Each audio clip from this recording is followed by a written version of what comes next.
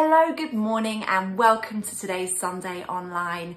Pete and I are back from a few days' break.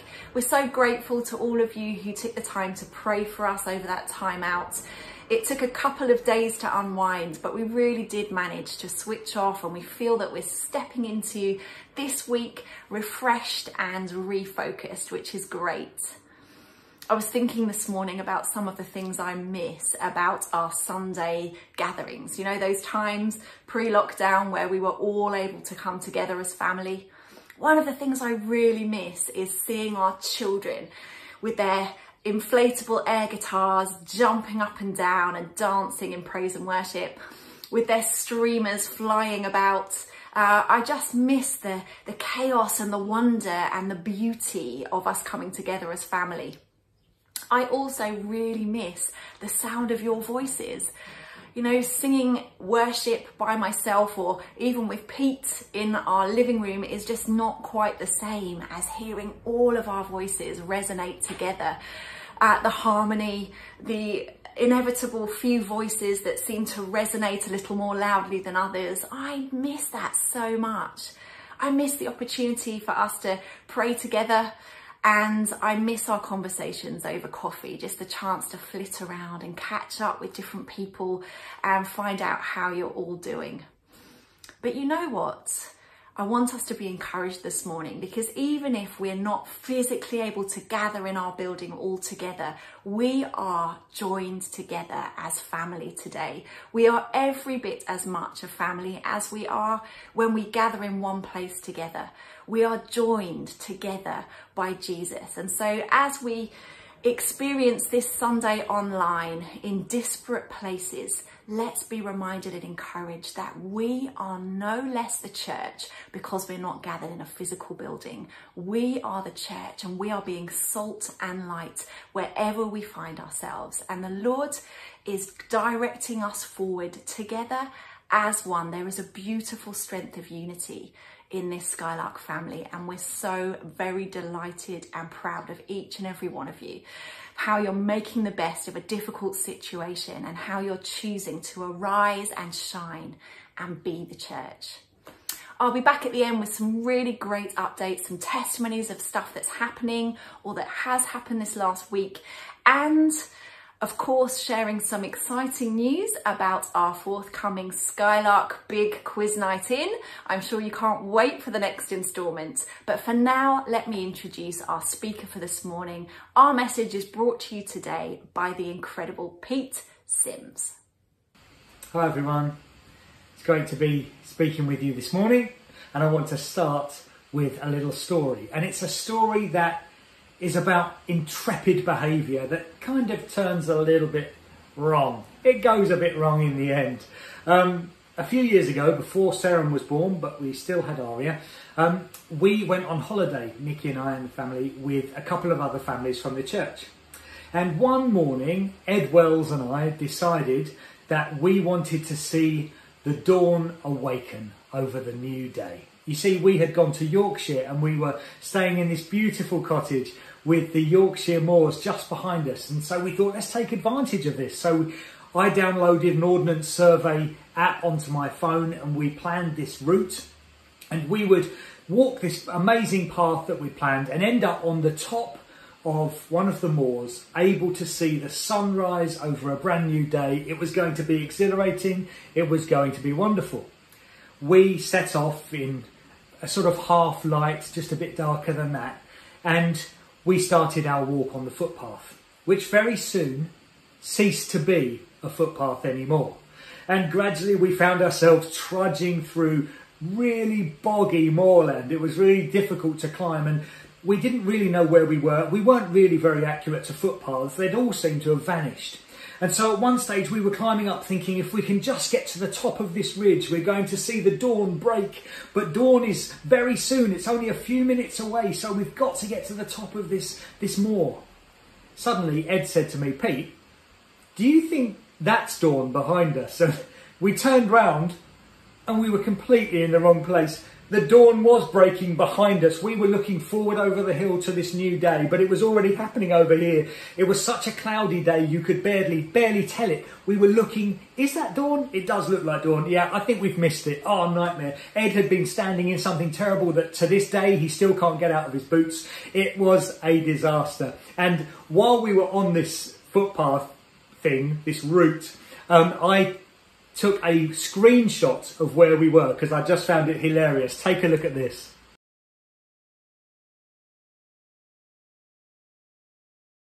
That's brilliant, isn't it? That it even shows we're looking the wrong way, nowhere near the path we should have been on.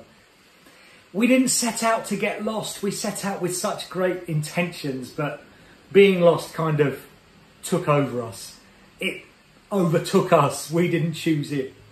When we were kids, we always used to go on holiday to the same location. So we go to the Lake District often and we went to the Isle of Wight often. I know some families do that. We used to always go to this little beach in the Isle of Wight called Steep Hill Cove near Shanklin, which is near to Ventnor. Does that mean anything to anyone? Does anyone know of Steep Hill Cove? Well, it was a beautiful place and we used to have a dinghy. Not the sort of dinghy that's hard rubber and amazing, but you know, the sort you'd blow up and spend hours blowing up on the beach before you got into it, that kind of dinghy. And it used to have a ring on the front of it, a bit like uh, a ring in a bull's nose. And my dad would tie rope to this dinghy and we would go out to play in it, but we would always be at the end of a rope. Dad would paddle up and down the beach. We'd want to go deeper, but no, as far as the rope would allow us to go, that was as far out as we, we could travel if I compare that to a story I heard this week from a friend of ours in church who, when they were five, went on a family holiday to Cornwall and were just relaxing in a rubber ring. They uh, just shut their eyes and enjoyed floating around, and before long they opened their eyes and realised they were nowhere near the shore. They'd drifted out to sea.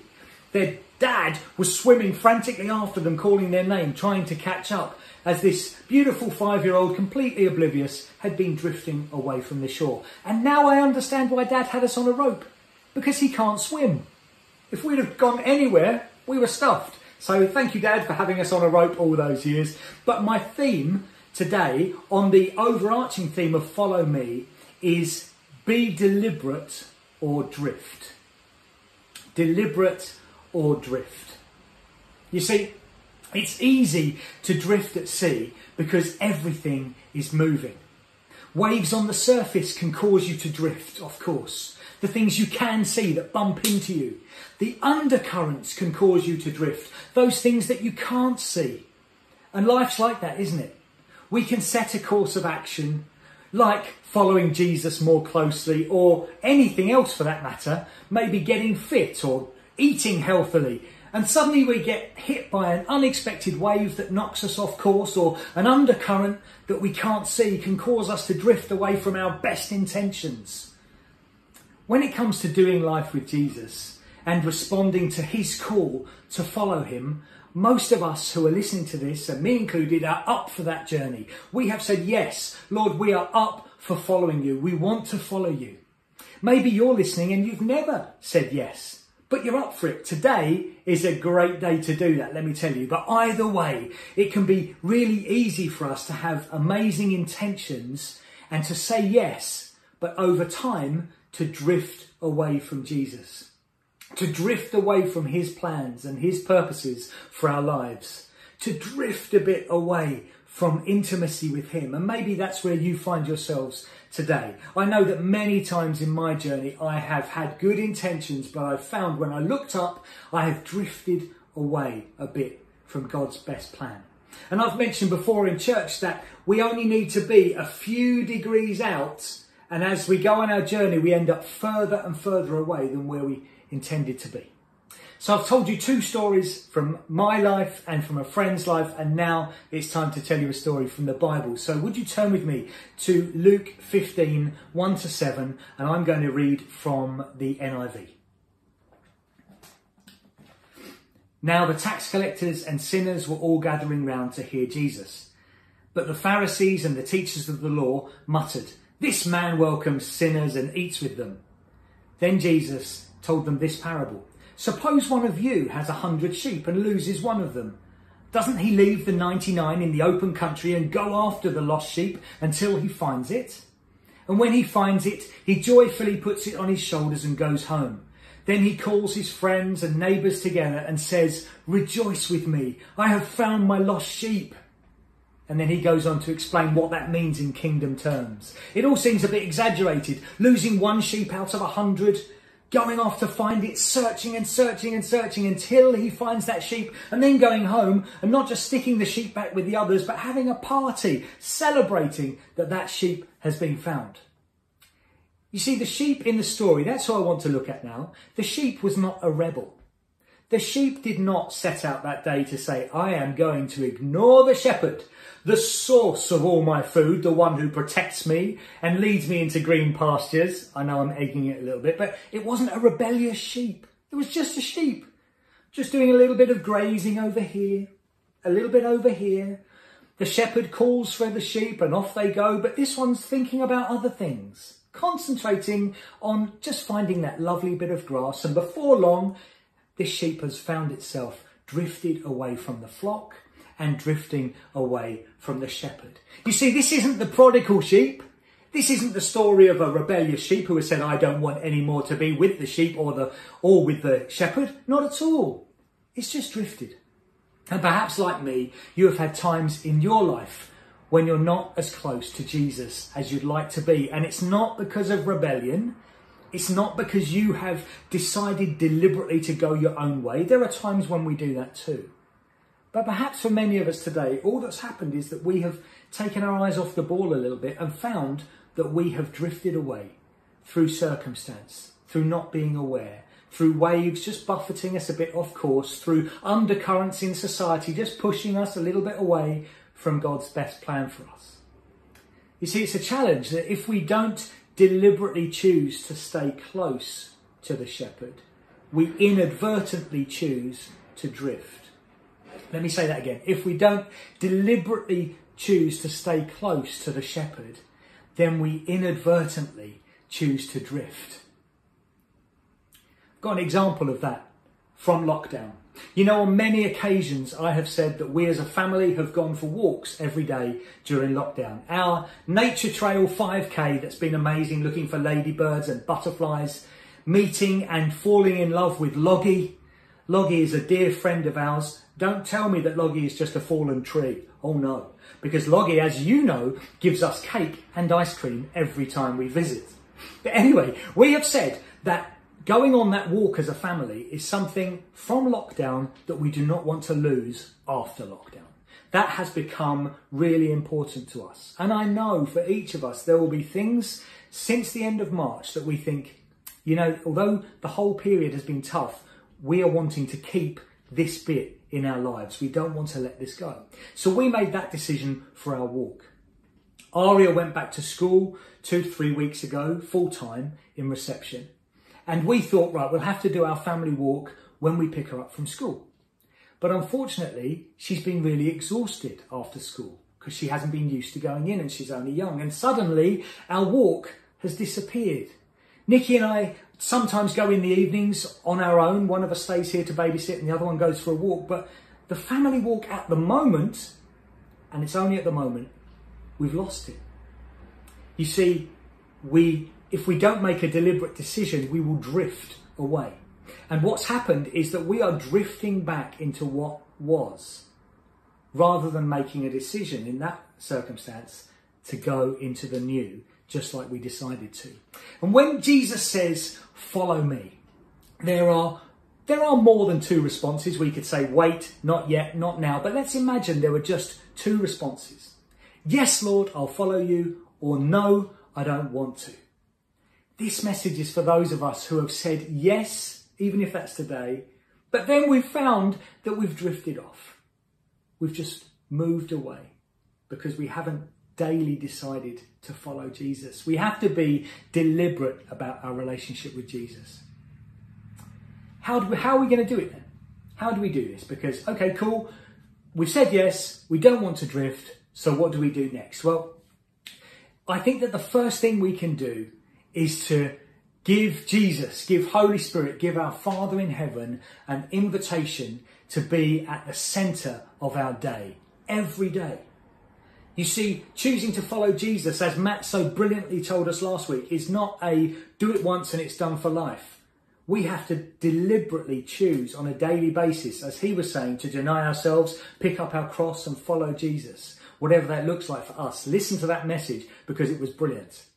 But we also need daily to say, Jesus, be the center of my day. Holy Spirit, come and fill me and be the very center of my day. Guide my footsteps today. Guide my conversations today. I choose to follow you today. Lord, give me opportunities to love others and to show them your goodness today. I choose to draw close to you for comfort, for protection, for sustenance, for guidance, because you are my shepherd. And I do that today. Not just in 1989, February the 12th, when I got baptized. That's not it. Daily putting Jesus right back at the centre. If you feel that you have drifted at all over the last weeks, months, even years, put Jesus back at the centre of your day every day.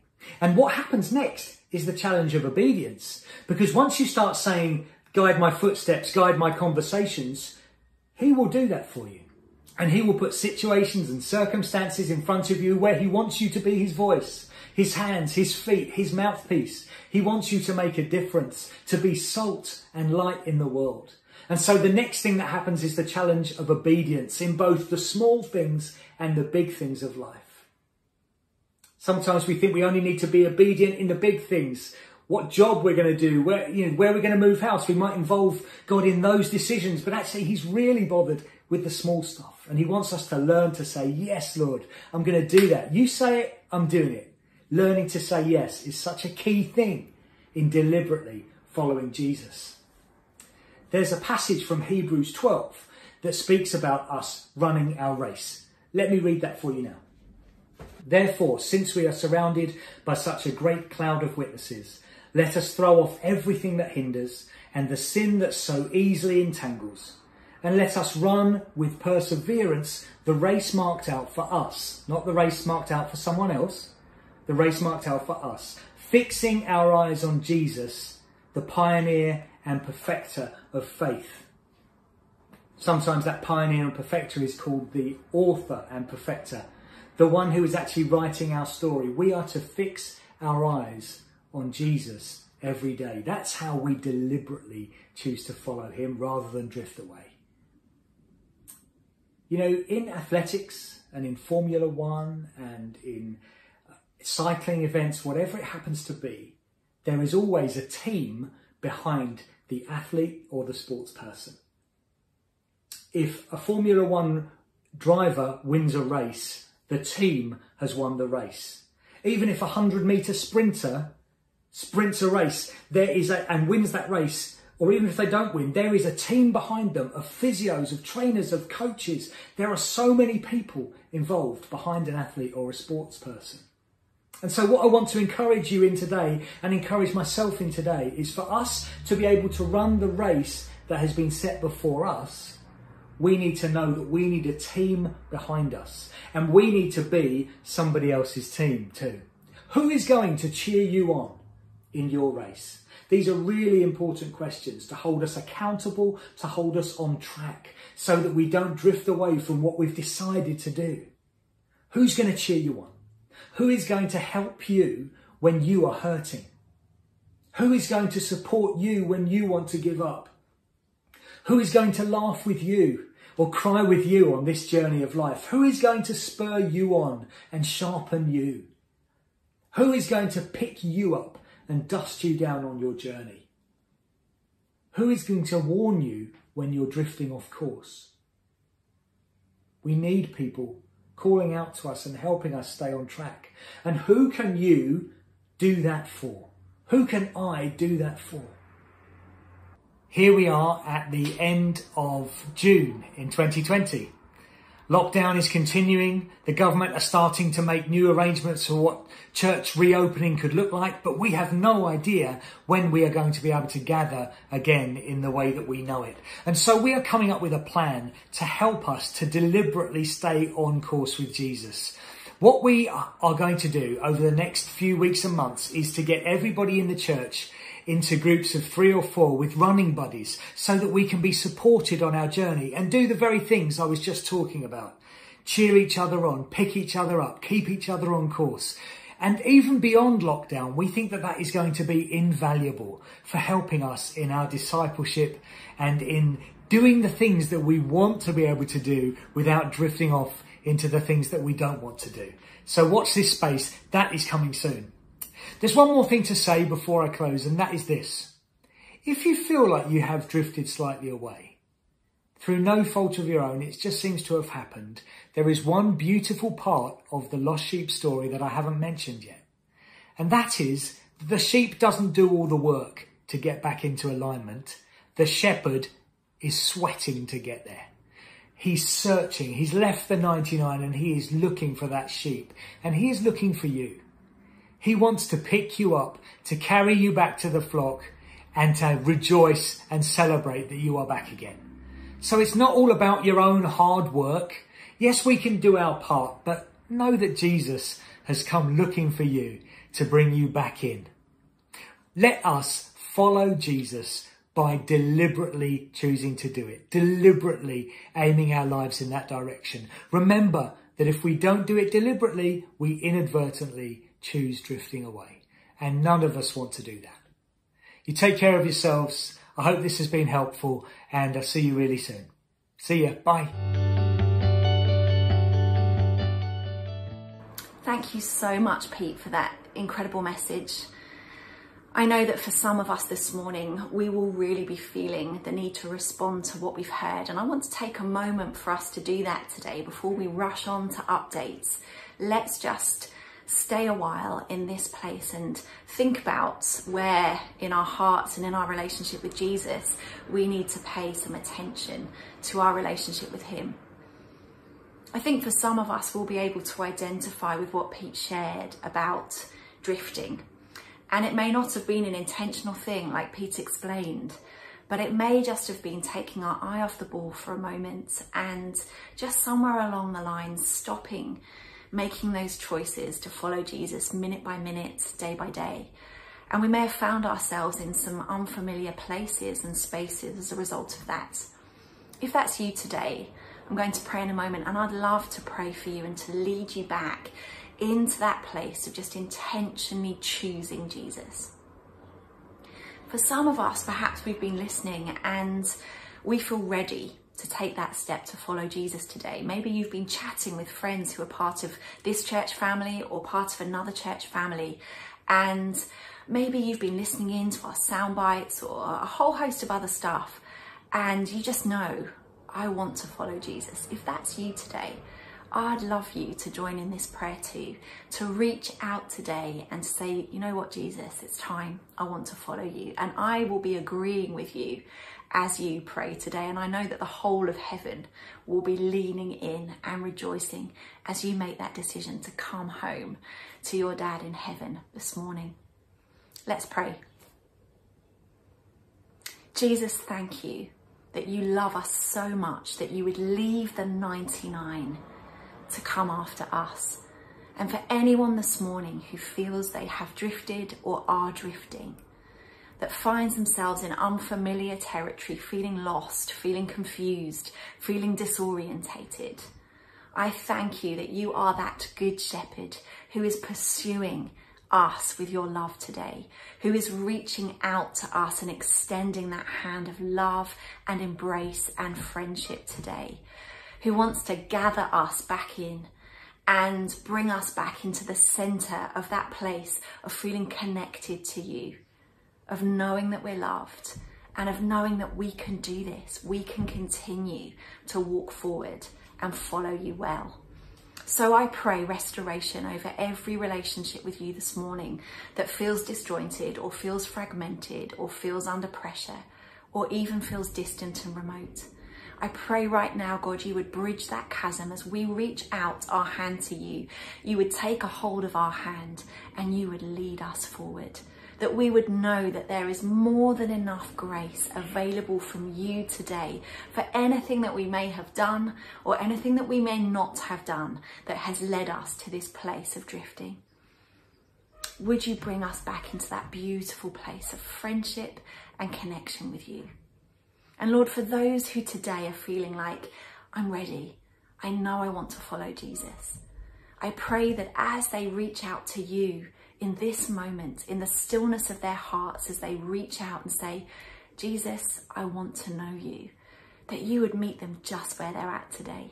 That your Holy Spirit would flood into their lives, that they would know that they are changed because they made that decision to say, I want to follow you. And that you would show them how to take each next baby step, one after the next, to follow you well. That they would hear your voice today affirming them and leading them forward. Thank you for each and every person watching this Sunday online today. May we step into all that a relationship with you offers us today. And may not one fall by the wayside. May not one straggle and struggle on the, on the margins. Would you bring each and every one into your embrace today?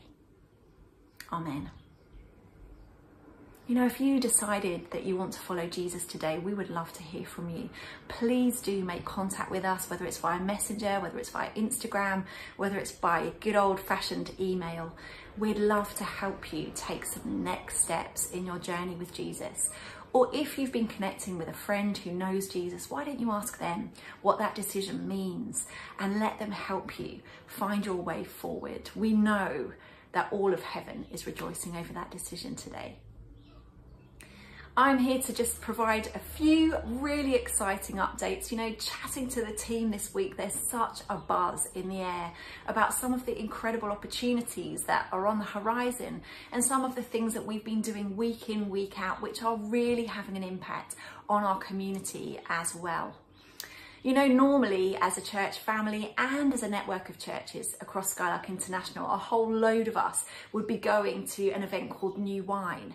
And it's something we love to do over the summer. It's a great place for us to hang out together as family, but also receive some great teaching, seminars and input. Well, New Wine has been cancelled in terms of a physical gathering this year, but they're breaking out. And over the weeks where we would be at New Wine ordinarily, there's going to be a whole heap of fantastic seminars and online content for us to tap into.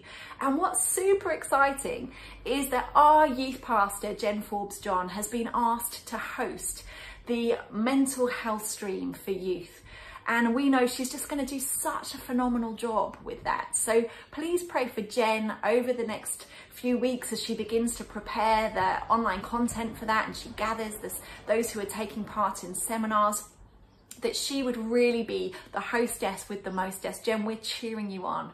Pete and I also have the privilege of hosting the adult mental health stream. And we're going to be um, hosting three different seminars that are taken by some incredible incredible practitioners in this area. But we'll also be hosting an online live conversation where um, some psychologists and people who are real experts in this field will be able to take questions and open up what has historically been a fairly taboo subject in the church. I know not so much for us as we have been trying to open up that dialogue as a church and as a network, but I know it's going to be really valuable for us to learn from. So just wanted to give you a heads up so you can be praying for that. Another really cool opportunity has come for the wonderful Charlotte Clayton. Now, Charlotte heads up a self-esteem course called Flourish, which um, goes into local secondary schools, but which also we've now given out to other churches so that they can be um, talking to young girls about self-esteem and using our course as a springboard to help with self-image, with body confidence, and with some of the key root issues that will really help to build resilience into girls so that they can become everything that they are called to be in the future. Charlotte has been asked by an organisation called Freedom 2, led by Mel Manning, who used to be part of Skylark and is now part of Hub Church in Woodford. Uh, Mel has set up an incredible organisation, and Charlotte will be doing an Insta Live at 10am next Tuesday with Mel, where they'll be talking about some of the issues facing young girls today when it comes to body confidence, when it comes to self-esteem, when it comes to being able to flourish in every area of life. I know that's going to be of real interest to any of you who work with young people or who parent young people. Or perhaps you'd just like to tune in so that you can support Charlotte and learn more about the work that Freedom 2 and Flourish are doing with girls. If you'd like to do that, there's more details for, to follow on our social media pages, but I know that Charlotte is going to be a fantastic voice speaking into some of those issues. And Charlotte, we're cheering you on too. We also want to celebrate some of what's happening with different members and streams in our church. You know, Senior Gold, that's the gathering that takes place for some of our more elderly members of the church family they've just been doing the most phenomenal job during lockdown to resource and to connect one another. Mike Collins, he's an absolute hero, church. Do you know what he's been doing? He's been embracing the change and he's been using technology. So he has been recording people using the phone. So he's been talking to them over the phone, recording their prayers, recording their testimonies, recording their messages, collating them all onto a CD and dropping them through the door of those members of Senior Gold so that they can stay connected one to another. What a beautiful thing to know that we have those that will go the extra mile to ensure that everybody is included, that everybody knows they are loved and everybody is able to remain inspired and connected to Jesus. Freddie and your team Sorry, we call Mike Freddie, just in case you think I've forgotten his name. Uh, we have a little nickname for him. It's a long story. But Mike, aka Freddie, we just want to thank you and your team for all that you are doing to resource, to encourage, and to keep our elderly and vulnerable congregations so well supported. You're amazing. This week we've been able to bless 18 families and individuals through the giving that you have made into the Pastoral Fund. They have received some really, really beautiful boxes of provisions and supplies. So thanks to you and thanks to all of the volunteers who tirelessly work week upon week to do those distributions. You are being the hands and feet of Jesus and we're grateful for you. Last and by no means least from me, we have got our second big Skylark quiz night in. It's coming on the 5th of July at a slightly different time of 8 p.m. We can't wait to gather together. Now, last time the Lawless family took those winners t-shirts. Wouldn't it be great to see someone else win this, uh, this quiz? Uh, I know that we should be taking part purely for the fun and I generally am one of those people, but you know, for those of you who are the more competitive types, come on, get brushing up on your trivia. We're going to have a great time coming together. Bring your drinks, bring your snacks, bring your brains, and have some fun with us as a family. That's all from me. I hope that you have a fantastic week ahead. Remember what I said at the start of today.